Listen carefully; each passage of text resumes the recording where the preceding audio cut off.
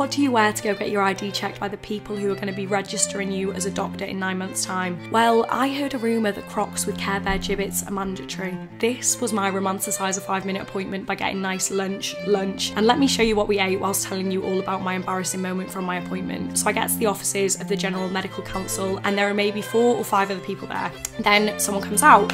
Dr. Bate, now I panic. If they aren't calling me, I'm gonna look like a douche for calling myself a doctor before I am a doctor. No one replies. She calls again. Again, I debate replying, but face the same conundrum in my head. Once more, silence. She then asks another attendee of the waiting room, Are you Dr. Bate? And I realise she's going to go around everyone and I'm going to look very silly in front of this room of medical professionals. So sheepishly, I say, Hi, my surname's Bate, but I'm not a doctor. This was a momentous and harrowing day because it was the first time it has dawned on me in a few short months I will be Dr. Bate.